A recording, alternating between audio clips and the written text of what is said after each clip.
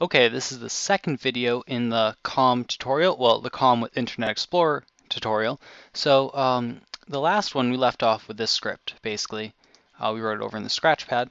Um, and it just opened up a website and didn't do anything else after that. We opened up a search website. If you want to see that again, uh, it was basically we type something uh, or nothing, and it loads up the Internet Explorer browser, uh, after it's done loading the web page and everything. So we're going to move on to something a little more advanced. Um, this time we're going to, this, this is basically the same thing, it's just with Google. And um, what we did is we built a search query. So we're going to say, uh, I'm feeling lucky, uh, and the query is the query, and the site is autohotkey.com. This is nothing really new. This is basically what we did in the last video. So we're going to say, we're going to search for a command. How about input box? Which I haven't tried before. Input input box, okay? So it does that and it loads the documentation on autohotkey.com in this nice little window. Um, that's that's cool and everything, but we're going to take that a little further. So we're going to go to this next one, which is autohotkey search tip.ahk. And we're going to see what this does. So first we're going to look through it, and everything up to here is the same. It's exactly the same as the other one.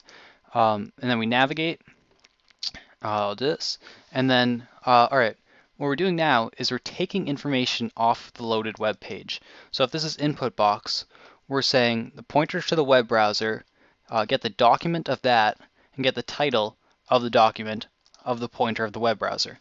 So uh, we're taking the title of the page, which is what you see in the top bar. I believe that's what the title is. And then the syntax, this is a little bit more complicated. And I'm going to show you how we'll build this. Uh, we'll do it again.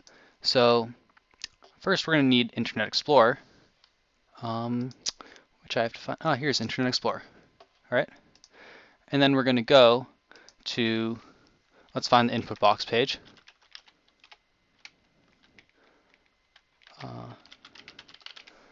All right, so we're going to go to the input box. All right, and now we want this. We want all the information in here.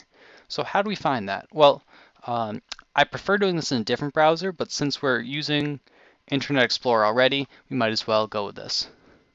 So we press F12 to open the developer tools. Uh, every Internet Explorer browser has this. I believe we're using Internet Explorer 8, and you should be using at least 8. I don't know if it'll work with anything earlier than that. Um, and then we're going to go to the script tab, and you see we have a console here. And we also have our HTML. Okay, so if we look right away, we see the syntax is in this paragraph tag. Um, unfortunately, we don't have get elements by class name, which is a JavaScript function which we could use uh, in later versions of Internet Explorer, but we can't use it here. So instead, what we'll use is get elements by tag name. So we go through here and we say, all right, it's a paragraph tag is what it's in.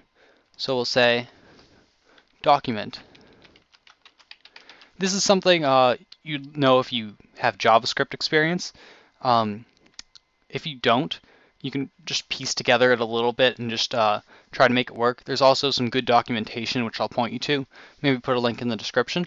So document.get elements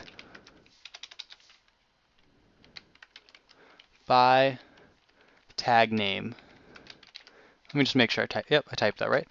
All right, so we're gonna take that and we're gonna say get p elements,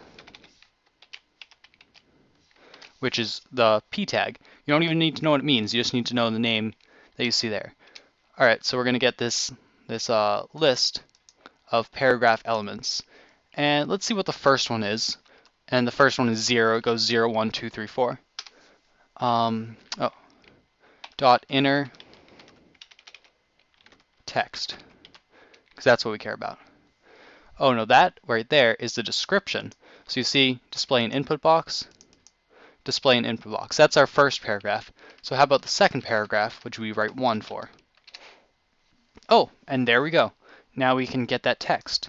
So we take this and we copy it and we bring it over to our AutoHotkey script. And you see right here, this is basically that. It is that exactly. So this part here is what we just found in Internet Explorer. And remember, remember, remember to have this PWB part here. If you don't, it just won't work. Syntax will be an empty string. I made that mistake when I was writing this actually, and it took me about 10, 20 minutes to figure that out. And then the last thing we're going to do is we're going to make a tray tip that says the command and the syntax. And just for laziness, I put uh, 5,000 or 5 seconds sleep. We'll change that to like 10 or something. Okay, so now we're going to try this. Um, a good command. Uh, how about tray tip? Okay. Now look in the corner here, and you see we downloaded the website. We never even showed it. We never set um, visible to true. All we do is we open the web browser, we get our information, and then um, we display it.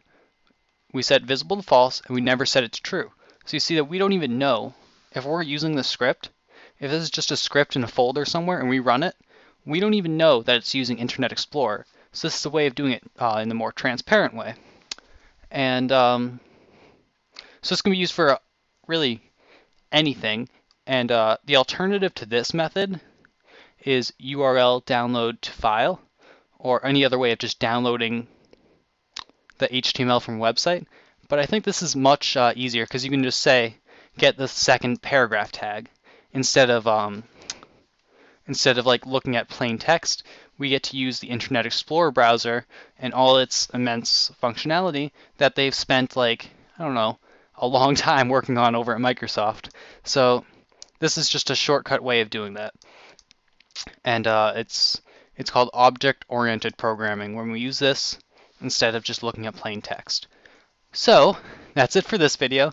Um, I'm not sure. I'm looking at doing a random password website, which uh, uh, I have the URL here, but I haven't finished that script yet. So if I get that finished, we'll do that in the next video.